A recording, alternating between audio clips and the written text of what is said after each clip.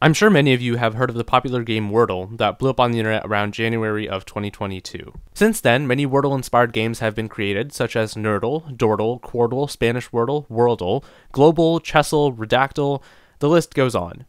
But there is one game in particular that I am no good at, and it infuriates me to no end. It's called Semantle, and it was created by software developer David Turner. You can check out the game at semantle.com, but the premise is that you're trying to guess a target English word by seeing how close other words are to it semantically. For instance, the target word today is elephant, and some pretty close words are tusk, mammal, and herd. Some not close words are container, police, and remarkable. If you haven't already, I highly recommend playing the game for a few minutes and seeing how far you can get. I myself am absolute trash at the game, but instead of practicing and building up skill like an honest person, I'm going to try to make an AI to solve it for me.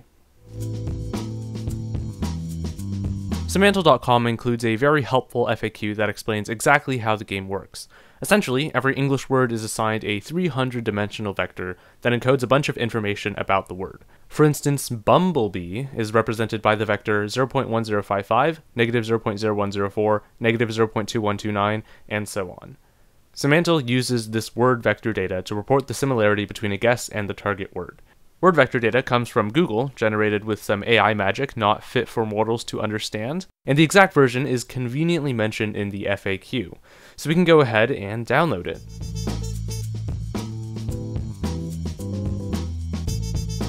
And there we have it, a 1.6 gigabyte file of word vectors. The first problem we encounter is that there are actually two different ways of measuring the similarity between word vectors, Euclidean distance and cosine distance. Euclidean distance should be the most familiar. We can find the distance between two vectors with the distance formula, which is the same in 300 dimensions as it is in 2 dimensions. You find the sum of the squares of the differences between corresponding vector entries, and take the square root to get the distance.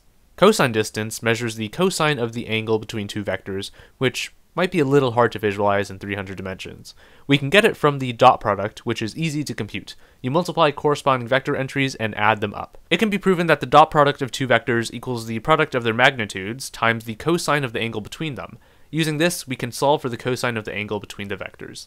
On the one hand, we could just look through Semantle source code and figure out which definition they're using. And there's definitely one intended definition to be used with word2vec. But reverse engineering it sounds more fun, and it fills up more time in the video.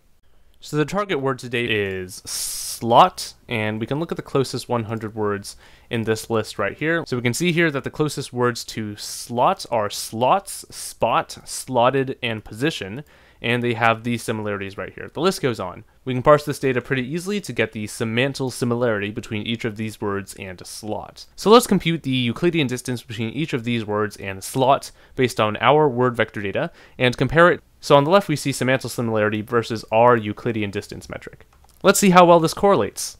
Ah, it doesn't correlate very well. This doesn't look like a great r squared value. Okay, let's see how well cosine distance correlates then. Okay, wow, that looks like a straight line. Let's run a regression on that. It looks like we can get the semantic similarity between two words by multiplying the cosine distance by negative 100 and adding 100. Now this makes sense because words that have very similar meanings tend to point in similar directions, leading to a low angle between them and a cosine value that is pretty close to 1, which means the similarity between the two words is close to 100. On the other hand, if the vectors are pointing in very different directions, then the angle between them is very close to 180 degrees, which means the cosine is close to negative 1, and the similarity between these two words is close to negative 100. Now let's look at our strategy. It's a pretty dumb brute force method, but it works. I downloaded a list of 479,000 English words off of GitHub and cross-referenced that with the Google Word2Vec dataset to see which of those 400,000 words had vectors associated with them. The end result was 97,000 English words that could be viable target words. In reality, there's about 4,000 words that Semantle has as possible target words. Thankfully, all of them are contained in these 97,000. We'll use this list of words as all of the valid ones for guesses and answers. Our strategy here is to start with any word, get its similarity, and find all the words on our list that have that reported similarity. This usually narrows down the list to one or two words because Semantle gives similarities to the hundredths place, and it's hard to have two words that have the same similarity up to that level of precision. This kind of feels like cheating to me, but we're already this far in. So I went ahead and wrote a Python script to implement this brute force algorithm. First, we have to load up our data, which Might take a while considering that it is 1.6 gigabytes in total. Alright, and now that it's done loading, um, we can submit some guesses to solve today's Semantle. So uh, let's get a random word as our starting word, just choosing from the list of English words. Archetypes, okay, has a similarity of 2.21 to the target word today. So let's go through all the words that are 2.21 away from archetypes, scanning all 97,000 possible English words, so this might take a while.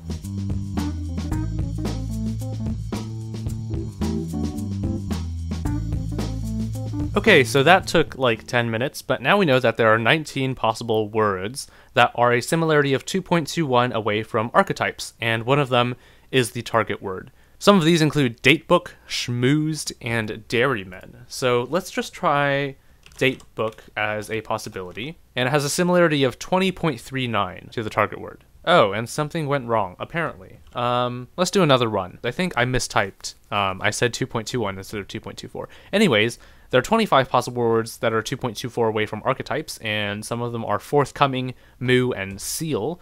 Uh, one of these 24 is the target word. Let's try forthcoming. We know that forthcoming is 3.79 away from the target one, and it says that the answer is columnist. We found the target word in four guesses, and I say that is a success. Let's try yesterday's Semantle. Okay, and like before, let's choose another random word. Okay, tapir, I like this one. It has a similarity of 11.26 to the target word.